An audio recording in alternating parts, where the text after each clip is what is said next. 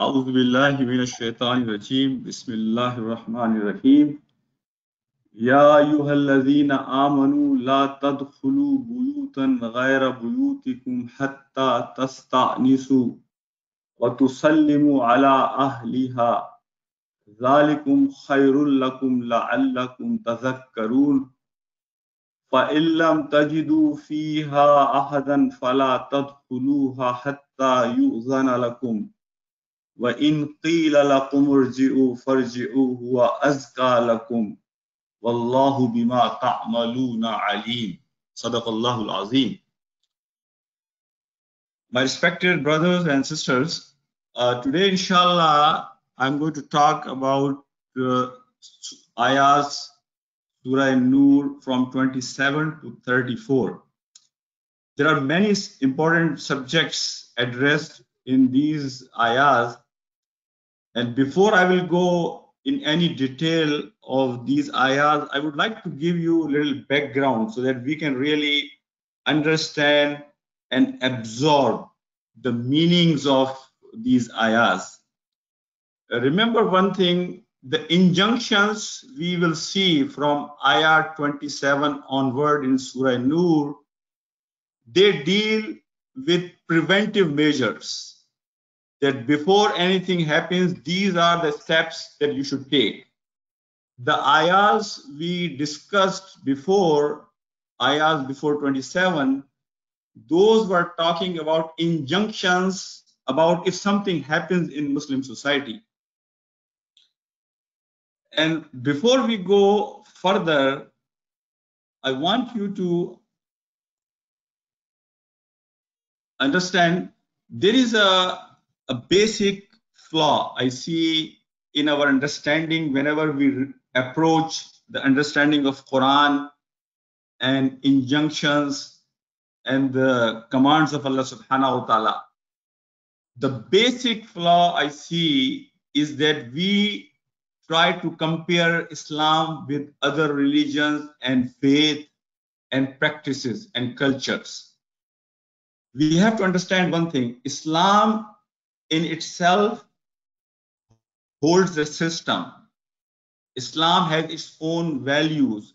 Islam has its own injunctions, culture, perspective, approach, mindset. So if we try to uh, mix and match, that's where we get confused. And as you know, there is whenever we accept Islam as a religion, this was a volunteer, you know, effort. La ikraha fi. There was no compulsion to accept this deen as your deen, as your religion. But once you accept, then you have to accept that the rules, regulations, injunctions, values, morals, system, culture, perspective, approach, Islam is going to teach us. Islam is going to guide us. So we should not uh, mix and match. There is another basic problem we have. You know, in fiqh, there is a, there are two rules. Number one, if your audience are not ready to listen to any of the command of Allah subhanahu wa ta'ala, if they have not reached in their iman to the level that they can really comprehend and understand the command of Allah subhanahu wa ta'ala, it's a fiqh rule that you should hold off. You should not, you know, communicate that ruling. And same thing if there is some saying of, you know, Prophet or even ayahs of Quran in which you feel like that the, this can cause more confusion among the audience. So let them grow and come to that level that you can really explain all that. Why did I say that? The reason is Prophet Muhammad for 13 years in Makkah invested in Sahaba to make sure that they have understood these three basic pillars of Islam. What Tawheed is, if you understand Tawheed, it becomes power and energy. It becomes something that you can hold on And Risala, if you understand that, the Prophet ﷺ is guided by Allah subhanahu wa ta'ala from the day he was born up until he departed from this dunya. Every teaching, every saying, every step of his life is a nur and roshni and guidance and light for you and me. And then we have to invest in ourselves to understand that this life is very little, very short. And akhira is khayran wa abqa. Akhira is better and everlasting. So these three pillars, Prophet worked very hard on all the Sahaba so that they were ready when they reached to Medina for all the commands given by Allah subhanahu wa ta'ala. That's why Hazrat Aisha has said that if the command came in Medina would have come in Makkah in the initial stages of Islam, nobody would have listened that. Very important message for you and me that we have to invest in ourselves to understand the true meaning of Tawheed, true meaning of the Risala of Prophet that we have to attach ourselves in love of Prophet to know about the life of Prophet and then we should know that Akhirah is our ultimate goal of this life. And then this is the scale that i'm going to judge everything i will do in this life whether this is going to benefit me on the day of judgment or not or not. The next thing which i will say you know islamic system is a total transformation.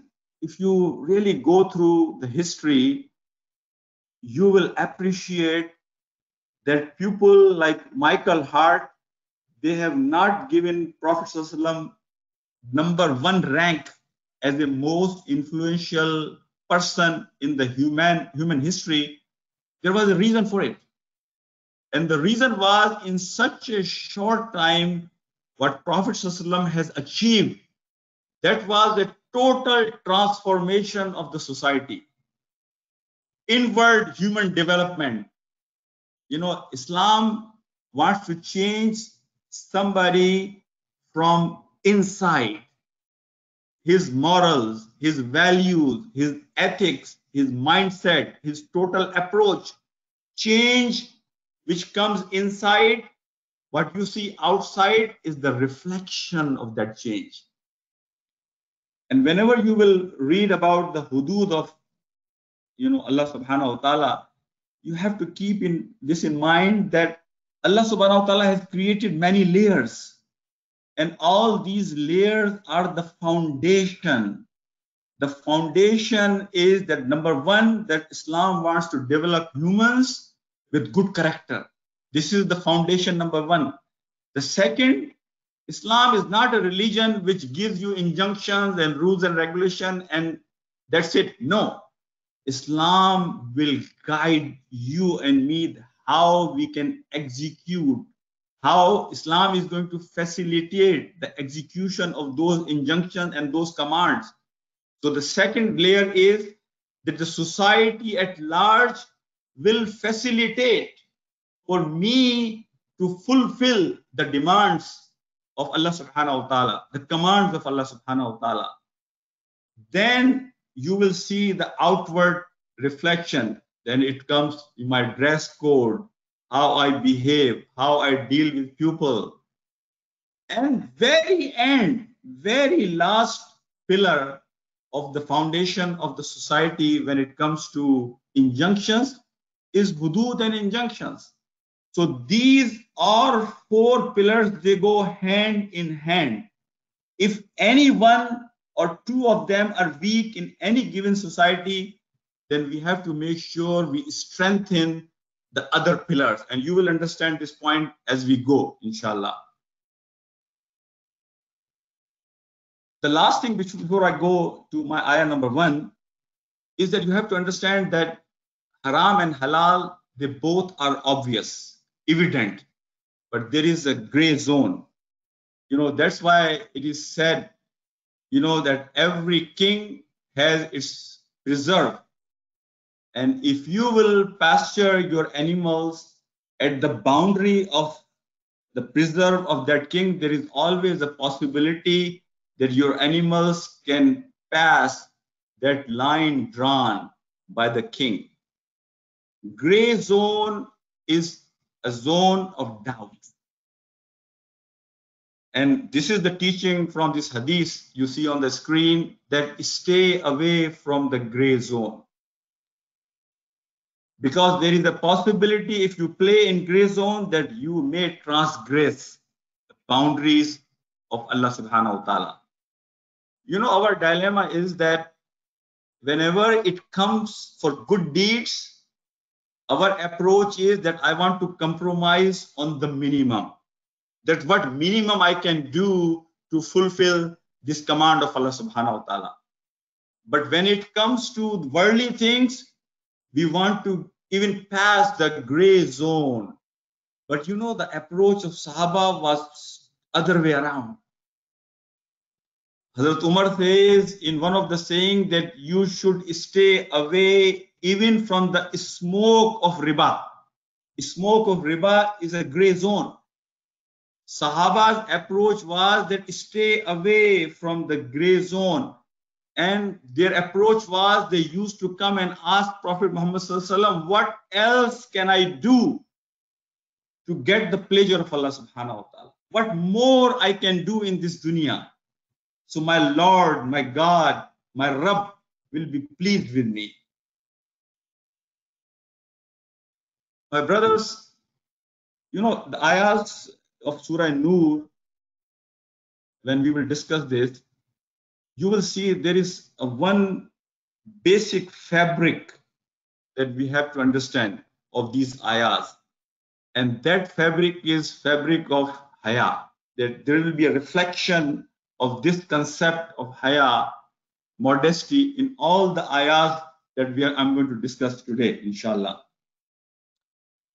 Prophet has said that that every deen religion has an innate core value character and the character of islam is modesty. This is the basic fabric of this imara this building of islam is haya. And he says what is haya? Haya is coming from the same root from which hayat is coming the life. So that means Haya has really the life of our religion. This is the lifeline of our religion, the teachings. There are many definitions given. It's honor, it's self-respect, it's bashfulness, it's decency, shyness, and uh, basically all these uh, different uh, definitions uh, given. And I will just go natural or inherent shyness and sense of modesty. Original meaning of haya refers to a, a bad or uneasy feeling accompanied by embarrassment. So here is there are some sayings of Prophet about the uh, haya. I advise you to be shy towards God, the exalted in the same way you are shy towards a pious man from your pupil. Another saying, Iman has 60 branches and Haya is one of, one of them. Now let's take the first ayah. It basically gives us etiquettes of visiting somebody. And I read this ayah in the beginning, so to save time, I'm going to just uh, go for translation that O you who have believed do not enter houses other than your own houses until you ascertain. Welcome and greet their inhabitants. That is best for you. Perhaps you will be reminded. And if you do not find anyone therein do not enter them until permission has been given you and if it is said to you, go back, then go back. It is for, for is purer for you, and Allah is knowing of what you do. And this, this I am going to skip. Now, these are the points that I want to talk uh, about this uh, very ayah, etiquettes of visitation. You know, remember whatever I have said so far, that we have to understand the whole background, that there is a transformation going on. There was an incident of ifk had happened. Surah Ahzab has already come. And now Allah subhanahu wa ta'ala is has exposed the society, the weaknesses of the society. And now Allah subhanahu wa ta'ala is addressing their weaknesses because Islam wants healthy society, focused society, society without any frictions and minimum issues possible. And the pillar of that society is the relationship of Muslims with each other, how they respect each other's privacy, how they interact, what are the boundaries of interaction and socialization. The you know this was the culture of Arabs going in, in people's house without permission. They were nosy, you know, no, there were no doors, you know, at the doorstep. There was nobody to stop them. So the basic learning we have from our today's perspective, respect the privacy of a person. And you know, whenever you go to somebody's house, the word here used is tasta'nisu. It's not said that if you if they allow you, actually it's more than just allowing you. Their willingness, their consent, they are happy to see you coming in. They are not at un, they are not feeling bothered when the, when you knock at their door. So we have to understand the concept of mind your business. Don't be nosy in people's affair. Whenever you go, stand on one side of the door. Don't stand right at front of the door to give the privacy to the house. You call three times when you are at the door and somebody is asking who is this? Then the hadith of the prophet says that introduce yourself. Don't say oh this is me. Who me? You have to introduce. These are the basic you know etiquettes when you go at somebody's door. And follow this even if you are at your own home. If even even if you are visiting your father or your mother you have to somehow alarm them. You have to somehow notify them. You have to somehow tell them you are coming inside. Famous hadith of prophet in which he says when some sahabi asked him you do not want to see your mom naked. You do not want to see inside even if your wife is inside the house. The tradition of prophet of sahaba was to somehow let the family know that you are coming inside the house. A lot of time I have seen brothers, they call you three times, four times, six times, ten times. And they should get the message. If they have called three times and somebody is not answering, then let him call you back whenever he will find the time. So knocking at the door or sending somebody message or calling him on the phone all these things need privacy of a person and this is this is a basic you know uh, important concept now the second now is this uh, other subject comes in in which allah subhanahu wa ta'ala basically is asking قل للمؤمنين يغض من أبصارهم ويحفظوا فروجهم ذلك أزكى لهم إن الله خبير بما يصنعون Tell uh, believing, you know, men to reduce غض بصر, lower their gaze. You know, uh, Mara Maududi rahmatullah alayhi has said lowering gaze is not really a true reflection of the word ghadde basar is actually avert Urdu में जिसे कहते हैं नजर चुराना avert your gaze if you are seeing something that you are not supposed to see then direct your eyes towards something different you know Prophet uh, say that uh, gaze you know is a shaitan's arrow if you will leave it loose it is going to cause some injury. And as it is said by Hazrat Abdullah bin Masood ta'ala anhu, that you know we do zina, zina of the eyes, zina of our ears, and zina of eyes is that we see something which we are not supposed to see. We enjoy it. That's why in the hadith says that one glance by accident, no sin. But if the second glance, that is what leaves some impression on your heart. And this is a beginning of a disaster. That's why, you know, when you will listen to the reward, if you if you avert your gaze or you lower your gaze, the reward is great.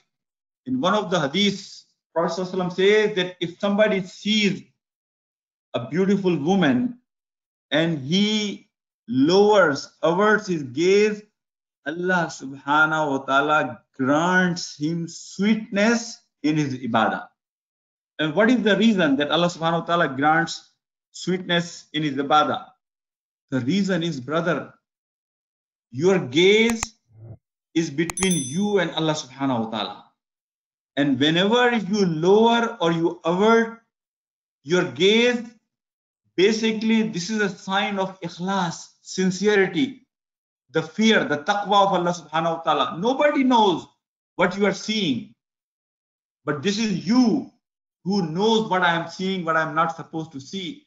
So whenever you change, you lower your gaze, that is a sign that you are thinking of Allah subhanahu wa ta'ala and because of his command you are trying to look in a different direction.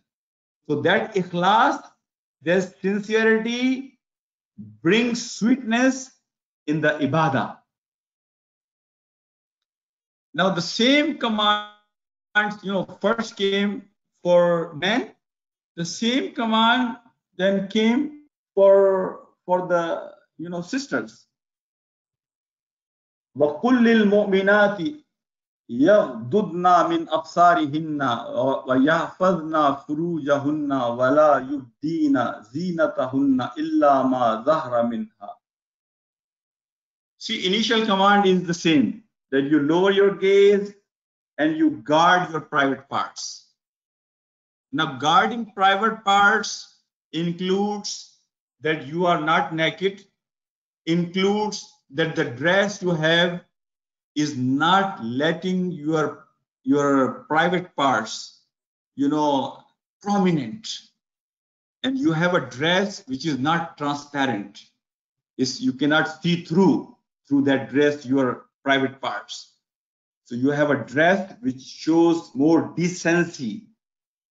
But when it comes to our sisters the command was also to lower the gaze same way you know and also be careful protect your uh, private parts.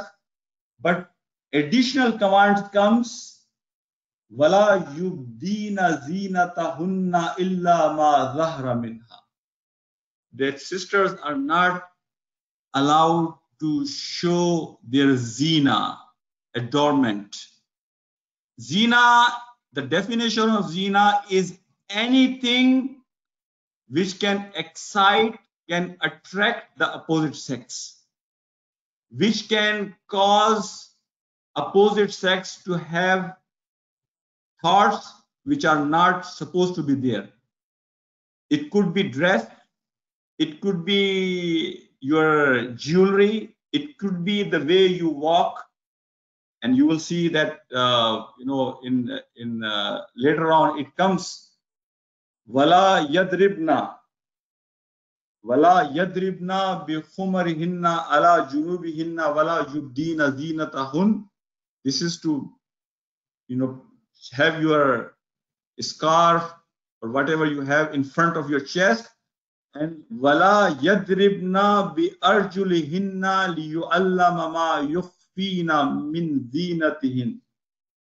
That when you walk your walk should not you know excite or attract the opposite sex.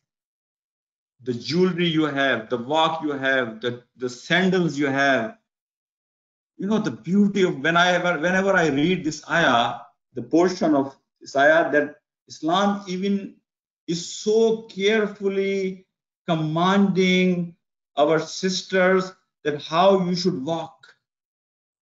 Because your walk is also your zina. That can also cause you know other sex the opposite sex to be attracted towards you. So, you know, this the beauty of our deen is that Allah subhanahu wa ta'ala has guided us to so to such a depth because you know this relationship of opposite sex this really creates a big fitna. That's why in one of the hadith parts some say the weakness of a man is a woman and the weakness of a woman is her children. So when we know this is the weakness, then we have to make sure in a healthy society that we stop whatever possibly we could so that it, it doesn't cause you know any any fitna in the society and then the last thing and then i will conclude that in society the last command comes that you should encourage people to have nikah. Whoever qualifies by age, by means, by mental preparation, وَأَنْكِهُ الْأَيَامَ مِنْكُمْ وَالصَّالِحِينَ مِنْ إِبَادِكُمْ وَإِمَائِكُمْ That whoever among you is ready for nikah, then do this. Unfortunately, you know, we see not only in Western society, even if you go in Muslim countries, doing sin is becoming easier and easier. And doing nikah is becoming more and more difficult. And I pray to Allah subhanahu wa ta'ala that He guides you and me, that we really truly understand the spirit of Islam the the bottom line message of this deen. A lot of time, what I have seen, brothers and sisters, that we really do not understand the depth, the true spirit of the commands of Allah subhanahu wa ta'ala. These commands are not to make our life difficult. These commands are to make our life easy. The reason we see Allah's command difficult because we have not invested in ourselves about the understanding of Tawheed, about the understanding of the Risala of the Prophet ﷺ, about Akhirah. Because Allah subhanahu wa ta'ala wants every soul to be successful on that day. And if I face any difficulty in this dunya, then I know inni zanantu anni mulaqi hisabiya. That I know that there is a day coming that I will be in front of my Rabbul Alameen. So I don't mind facing any difficulty in this dunya in fulfilling my responsibility, in fulfilling the commands of Allah subhanahu wa ta'ala, because I know this life of 30, 40, 50, 60, 70 years you know, has no meaning as compared to the life of the waiting period, which could be thousand year, which could be million year. And after the day of judgment, there will be a life which will be never ending life. And especially in the perspective of the time we are going through right now, this coronavirus, we should be able to understand, acknowledge, appreciate this life is fragile. How fragile this life is. How unpredictable this life is. That this switch of my life could be off any second. And I know there will be no second chance for me to come back and rectify and correct my action. La Aisha illa Aisha al-akhirah. This was the song of Sahaba when they were, you know, building Masjid Nabwi and when they were, you know, uh, building that, uh, they were digging that trench at the Battle of Trench, at the Battle of Khandaq. La Aisha illa Aisha al-akhirah. I pray to Allah subhanahu wa ta'ala, He gives us this true understanding that akhira is khairun wa abqa, that akhira is which is better and everlasting for mu'mineen, inshallah. I will close with this, inshallah, if there is any question, I'll be more than happy to address if I could. Uh, inshallah, the, the first question, um, you mentioned the importance of being shy towards Allah subhanahu wa ta'ala. Um, however, on the one hand, we are told that when we are asking of Allah, when we are supplicating to Allah, we should not be shy and we should ask Allah for all of our needs and have and raise our expectations of Him. So, can you give us a, uh, an explanation for what it means to be shy of Allah? Should we ask of Allah freely, or you know, what, what does shyness mean in front of Allah? There is a hadith of Prophet in which a person says that Allah deserves, you know, this haya and shyness from you the most. And haya with Allah is that you watch your thoughts and you watch what goes in your stomach. That is haya from Allah subhanahu wa ta'ala that you monitor, you filter even your thoughts which go in your brain. And also you watch what you eat. That is haya. It's not haya that you, when you are asking anything, asking anything is actually recommended by Prophet even if you need need you know laces of your shoe, you should be asking to Allah subhanahu wa ta'ala. When we are asking, we should ask anything we can.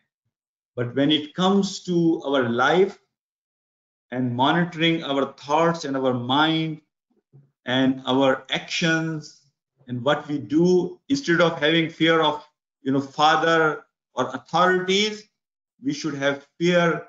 And this fear is the fear of the most respected one, not the fear of punishment. Fear that you love Allah subhanahu wa ta'ala, that He has showered so many bounties on you, the fear you have of your father that i don't want my father i do not want to belittle my father i don't want my father to have this feeling that my son has basically is letting me down in any ways that fear stops you from doing anything bad that fear of love respect should be in our life when we are thinking and doing or when it comes to our risk. Jazakallah khair. Um, the next question is regarding the topic of children um, and being uh, and weakness. So, is it a hadith that children are weaknesses of women and women are weaknesses of men? Is this a hadith? And if so, what advice is given to try and manage these weaknesses uh, and turn them into positivity. Yeah, I know this portion is hadith that uh, woman is a weakness of man, but I'm not sure. I have to check about the second part. But this is basically from human psychology. As a physician, you know, when we deal with psychology, we know that for a woman, her biggest weakness is her child. She can sacrifice everything you know for her child. She can sacrifice even her parents her own husband because after child that becomes her whole you know life that's a very natural feeling. If the if the woman does not have that feeling no woman will be able to you know handle the pain they go through and the patience they need to raise their kids. And that is very much needed for for a mother when she is raising her child. So but when it comes to men because more you watch your gaze. You know important thing is brother that whenever you transgress one boundary of allah subhanahu wa ta'ala there is a possibility there will be next boundary you will transgress. Because it, is like you do if a thief steals something one one time he becomes he becomes more brave next time. And if he doesn't get caught the third time he will even be more you know brave than the very first time. Same way whenever we transgress one boundary that we do we leave our gaze loose there is a possibility that this is going to be the next and the next and the next. So for men it is very important. Wallahi i can tell you one thing. If you this is the best parameter. If you are losing your focus in your salah if you are losing your khushu in your salah the first thing you should do is to check your gaze. And remember the famous story of imam shafi. I don't have time to repeat that. But brothers if you are careful in following the boundaries of allah subhanahu wa ta'ala especially our gaze of the what we see. And these days, when we are in front of our screen, middle of the night, nobody is watching. But Allah subhanahu wa ta'ala, He knows even a little ant which is in a dark night on a dark black mountain hiding underneath. Jazakallah. Um, on the topic of the current COVID-19 virus, um, can you say a few words about the topic of haya in this context? And there are many regulations on whether people should attend gatherings, not attend gatherings, Juma, for instance, should we follow these guidelines? Uh, and how should haya be practiced um, in the current climate of the climate of the coronavirus? You know, I will say a few things. You know, as a Muslim, our approach on this issue should be that we this is a time of our own accountability. Wallahi, it's a very serious time we are going through. See, very few times other than wars it has happened that the door of Kaaba is closed. Right now, even people are doing tawaf, they cannot even touch Kaaba. They cannot even go close to the to Roda of Prophet. We cannot even go and attend our regular prayers. We cannot go for Juma. I will be very concerned that is it possible that my Lord, my Rabb is angry with me? That I have done something in my life that He is taking away all this honor, this privilege we have in our life. The first thing I will say that we should humble ourselves. We should ask forgiveness from Allah subhanahu wa ta'ala. We should do istighfar. We should recall all the mistakes we have done. Wallahi, in these days, you know, every one of us, if we go back and look at our life, we have transgressed right and left the boundaries of Allah subhanahu wa ta'ala.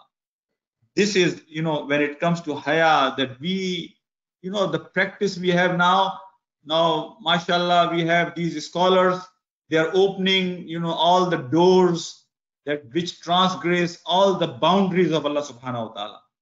And Maulana Maududi, if you read his Tafhim in, in about these ayat, he says, you know, these ulama, you know, if they are calling themselves Muslim and they open the doors against the commands of Quran, at least they should call themselves that we are not Muslim. They should disown Islam.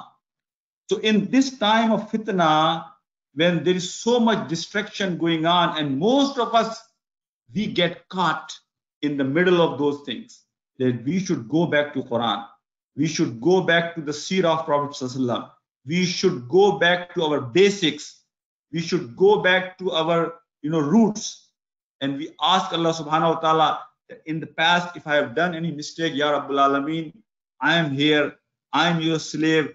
Please do not take away these privileges you have given us. Do not take away the sajda from us do not take away this sweetness this halawa of your salah, I will recommend that we should not only do istighfar, we should do more optional prayers, especially these this time, you know, tahajjud prayer.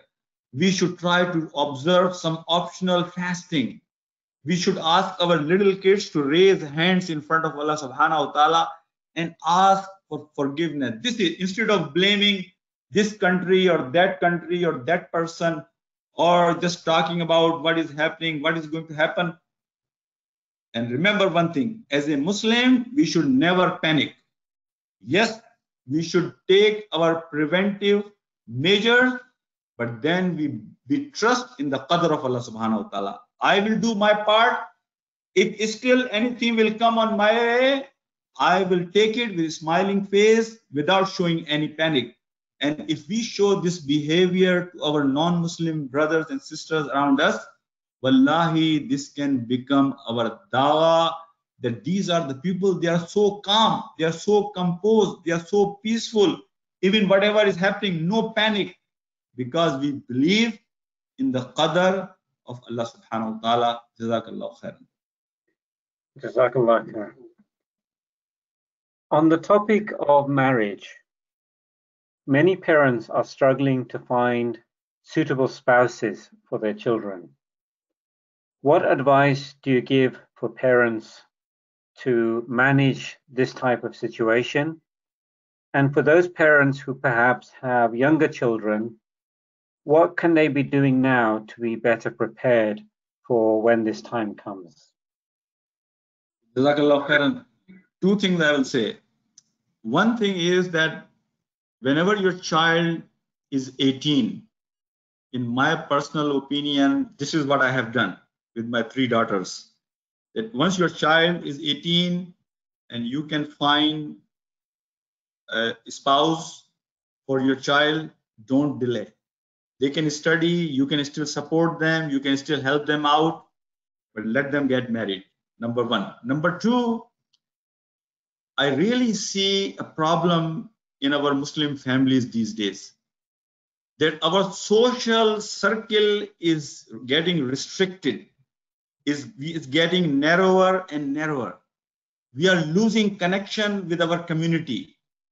I will advise my brothers and my sisters be part of the community engage yourself with community make sure your kids are social that's why there is a hadith of Prophet He says he recommends that marry your child with somebody who is engaged in the welfare of the society, who reaches out to the people to help them out.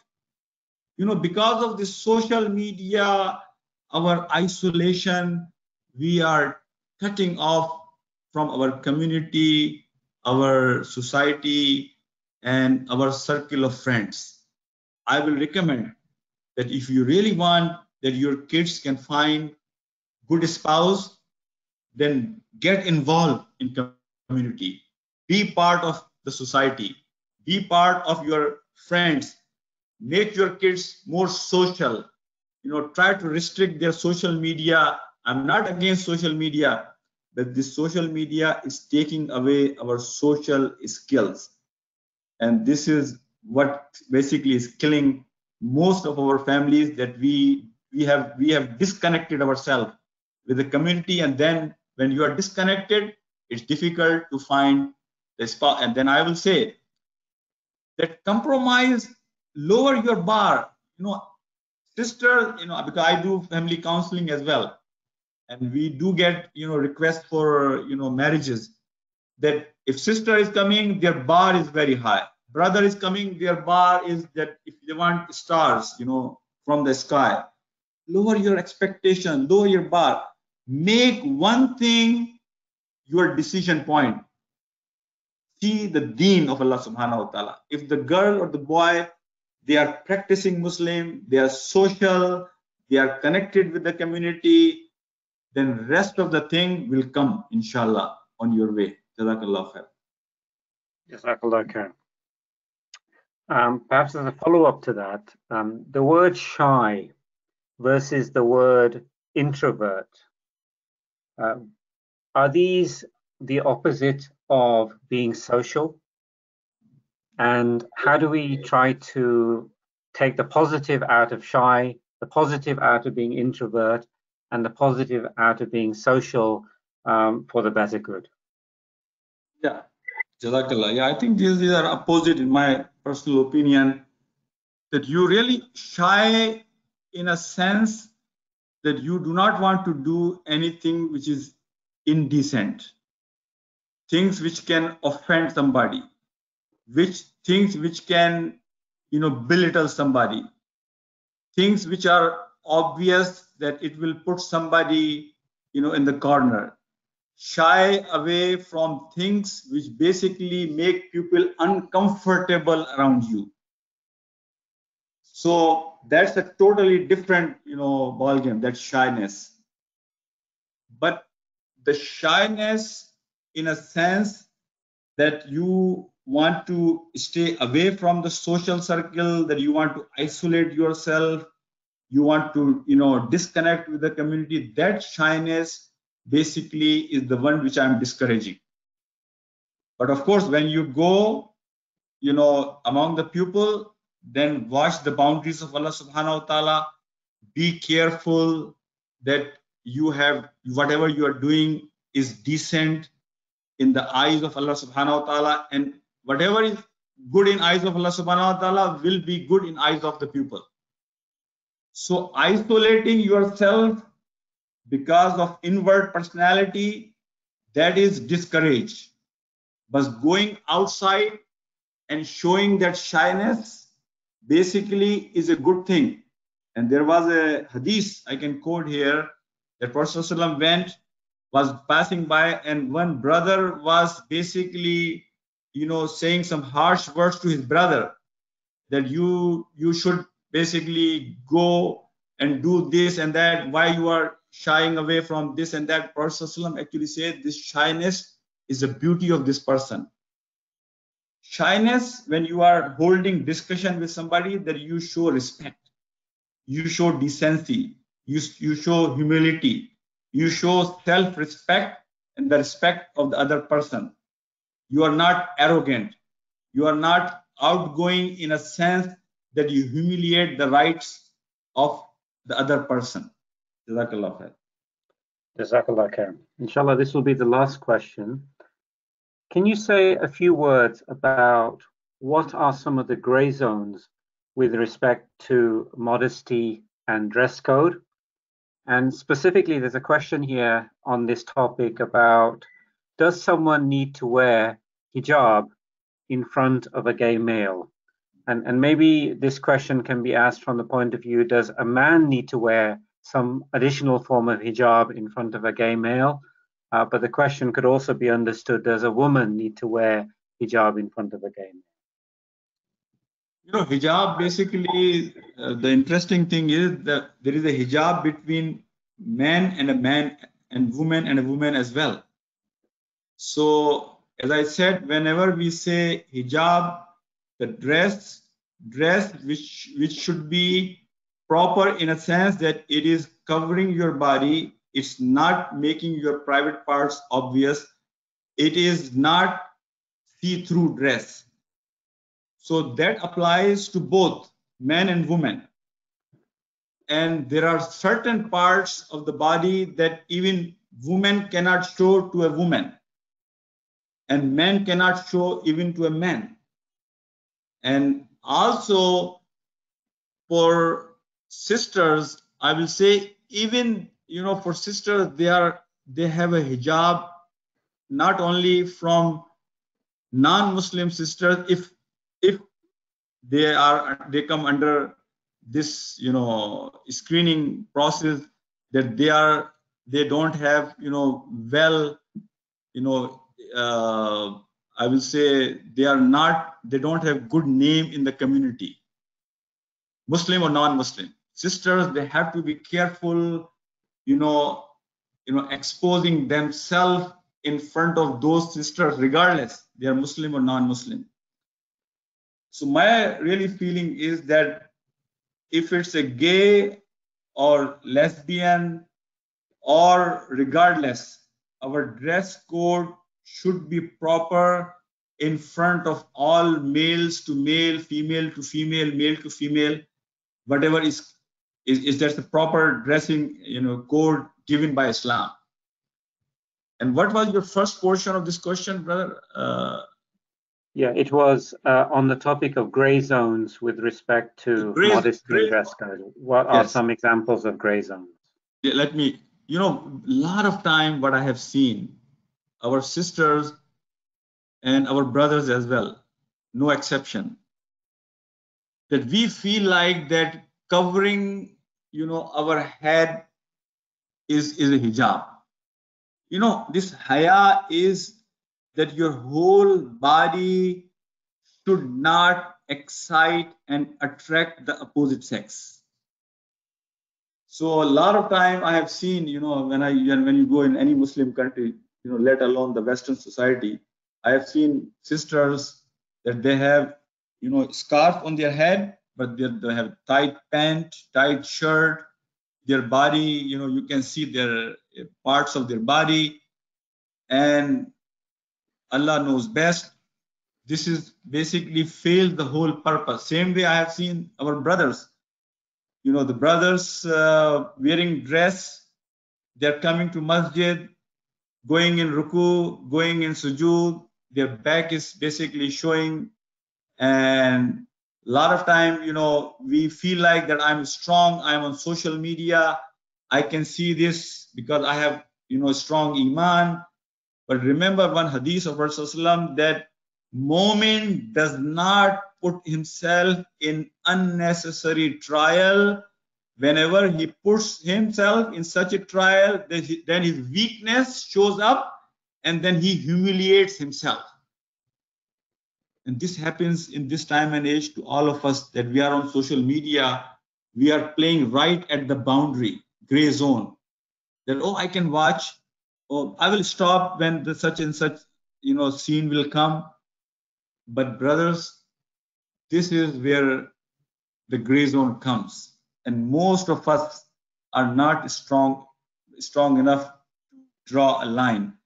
So that's why it's better for us that close all the avenues which can take us to the sin and from where it's difficult for us to come back especially you know these days in social media we most of us we play in in gray zone when it comes to social media سبحانك اللهم وبحمدك أشهد أن لا إله إلا أنت أستغفرك وأتوب إليك أعوذ بالله من الشيطان الرجيم بسم الله الرحمن الرحيم والعصر إن الإنسان لفي خسر إلا الذين آمنوا وعملوا الصالحات وتواصوا بالحق وتواصوا بالصبر.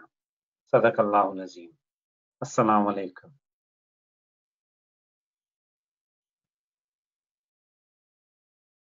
الله أكبر.